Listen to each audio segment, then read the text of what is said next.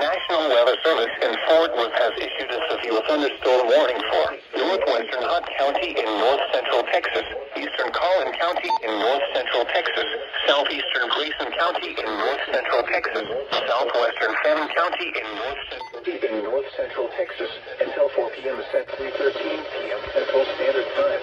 15 p.m. Central Standard Time. A severe thunderstorm is located over moving miles per hour. Hazard 60 miles per hour in gusts and quarter-size hail. Source radar indicated. Impact hail damage to vehicles is expected.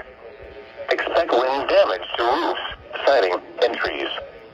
This severe thunderstorm will be near Princeton, Farmersville, and Lowry Crossing around 3:20 p.m. Central Standard Time.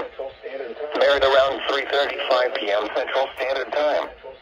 Leonard around 3:40 p.m. Central Standard Time.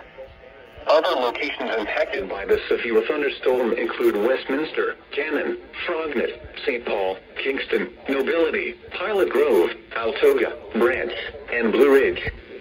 A tornado watch remains in effect until 6 p.m. Central Standard Time for North Central Texas.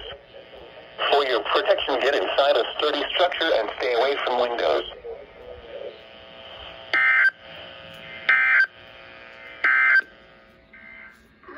Check on your possibility, Fort Worth.